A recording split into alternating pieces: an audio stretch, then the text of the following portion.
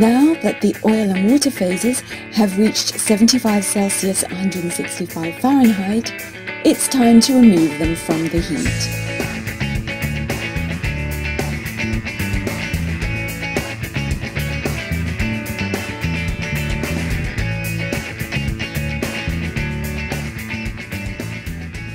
Here, we are using a Silverson homogenizer to create the emulsion.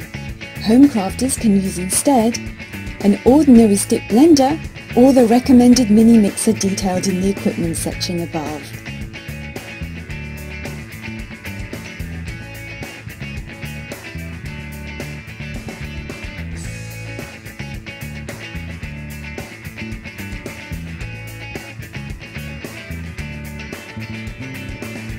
After homogenization, the lotion is moved to the overhead stirrer to stir while the lotion cools down to 45 Celsius 110 Fahrenheit. Home crafters would instead use a stick blender or mini mixer switched on periodically during this cool down period.